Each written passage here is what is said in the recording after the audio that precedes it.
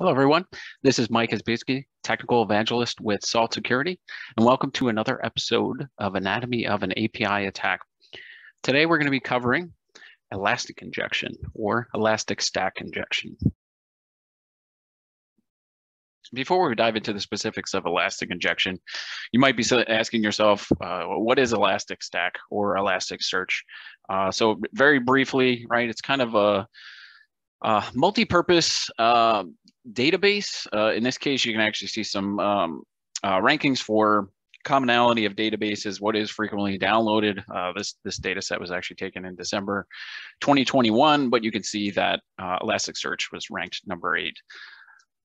It's a really popular database uh, because it can hold very large amounts of data, uh, just like you know Microsoft SQL or MySQL, uh, Oracle databases, right? Those kind of heavy hitters that you often see in the enterprise. Uh, but Elasticsearch is also there, uh, and it's it's typically built up of multiple components. Uh, Elasticsearch, which is kind of the search engine and query engine, log, Logstash to gather the log data uh, and do analytics on it, and then uh, Kibana to provide visualizations of all this data. Uh, in some cases, Logstash is swapped out for something like FluentD.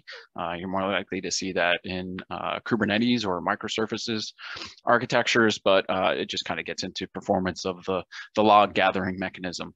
Uh, but elk is is often what this is uh, referred to, or elastic stack, uh, depending on you know where you're coming from or how long you've been kind of working with elastic. Uh, it's extensible, right? It's an extensible search engine uh, provides that log storage and analytics by virtue of Logstash, uh, and the data is uh, by virtue of Kibana, as I was saying. Uh, this is actually really commonly used for uh, security information and event management, or SIEM. Uh, Elastic actually provides an open source distribution of it, but you can actually procure it as a paid commercial offering as well. So it, it is actually very commonly used as a SIEM in some organizations. Uh, and just as an example of prevalence of Elastic, but also uh, how it can lead to data exposures, uh, the company CVS Health actually uh, experienced data leak in March 2021. Uh, some of that data was actually an exposed Kibana database uh, that wasn't very well covered in the media, but if you look at some of the screenshots, you'll see some Kibana uh, metadata identifiers that really um, hi highlight that it was in fact a Kibana database to understand the flow for elastic injection, I sometimes like to use this reference architecture. It is simplified. You may not have all of these components in your enterprise architecture, uh, but typically you do see presence of uh, application delivery controllers, ADCs, or network load balancers, or NLBs. Uh, there's typically uh, numbers of web and application servers. Sometimes they're combined. They can be split out. It, it does vary. Uh, and then there's data stores as well, or databases.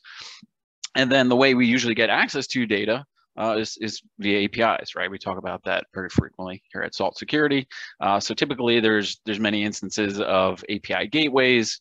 Uh, there's typically outer or external facing API gateways, and then inner API gateways or internal API gateways that might mediate uh, inner API calls, right? Because you you have combinations of things that are external facing um, and then internal APIs that are used by uh, other systems, right? And you know, within your intranet, that stuff's not often exposed, uh, but it can happen. All right, so in the case of elastic injection, what is happening is that um, an attacker uh, can initiate API calls with uh, Elastic queries in the uh, API request. And by virtue of how the Elastic stack is configured in a given enterprise, or misconfigured in this case, uh, that query can kind of get passed blindly to the backend Elastic uh, services. Uh, often it is a post um, request, right? And, and you'll see in, an, uh, in, an, in a minute here what an actual request looks like uh, for given um, multi-query or multi-search query. Uh, Elastic is going to execute that, right? Because it, that's what it's designed to do. It, it is a search engine, uh, it's a database engine, and data analytics, right? In this case, it just kind of presumes that somebody needs a piece of data, and, and that's its role. Uh, in this case, it's not actually checking authorization levels because uh, it, it, might not have been configured that way, right? The enterprise architects might not have um, conceived that somebody would access this data externally, or maybe an integration team integrated with the Elastic instance, instance without kind of sharing that knowledge, right? And now you have internal data sets that are exposed externally. Uh, and then that author, unauthorized data set is in, in, turn returned to the API caller, right? Because that's what the uh, API gateways are doing. They've mediated that call. It seemed legitimate, right? The, the Elastic query was, uh, was well formatted and the person had access to do that. Potentially not authorized to that particular data set, but as I said, you know, in this integration scenario, uh, authorization levels just weren't being checked properly. So what does a request actually look like? Uh, here, here's a, a, fairly trivialized one, but somewhat scrubbed as well, right? Because we didn't want to identify uh, the impacted company. Uh, this is actually based on some research from our SALT Labs uh, threat research division. Uh, but the, you know, the, the way the threat researchers kind of discovered this is uh, they observed that these post requests were present in the application flows, and it very clearly is an elastic um, Elastic Stack query. In this case, it's uh, msearch. That's uh, very commonly used to identify the functions for searching for pieces of data or multiple pieces of data that underscore msearch, right? And this this was essentially a, a proxy connection back to that uh, backend Elastic services, like I showed in the prior uh, flow diagram uh, really all the attacker needs to do here is uh, th this post payload down here or message body. Uh, you'll see the highlighted bits that are kind of the most relevant for the attack. Um, but in this case, that Elastic instance was storing uh, multiple tables and multiple data sets for all different companies, right? But that was um, controllable by the API caller. In this case, as an attacker, I want to manipulate those things. So now I'm going to start to manipulate, well, what is the company domain, right? I don't necessarily care what the expected flow is. Now I want to see, are there other companies for which uh, this particular organization is storing data?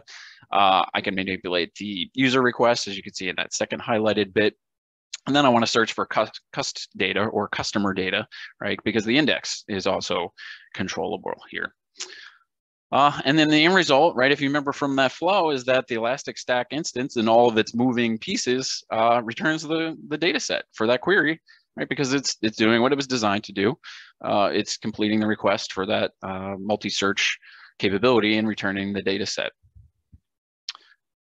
Uh, so it should be pretty apparent, right? Attackers can readily manipulate these things. So if you are exposing Elastic instances to uh, internet-facing consumers, this can be a problem, right? So you need to consider how is my data that is stored in Elastic accessible externally and make sure those calls are uh, properly filtered. You know, access controls are important, but you also do want to be looking out for these types of things, right?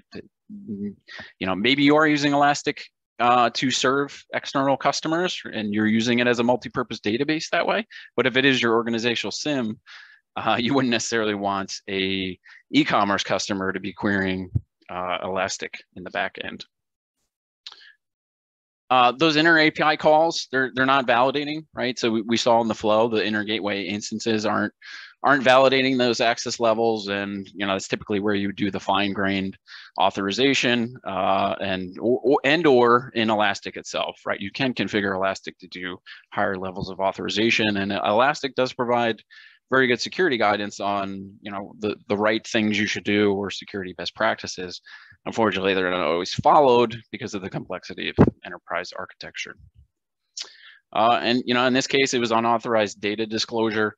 Uh, this particular attack could have also been used to create an application layer denial of service attack. As you can see uh, in that screenshot on the post request, there was a size parameter, and that could also be manipulated, right? So now you can can create kind of a, a domino effect of um, increasing query sizes and in turn uh, impacting the availability of all, uh, not just the Elastic services, but also uh, your web servers in this case.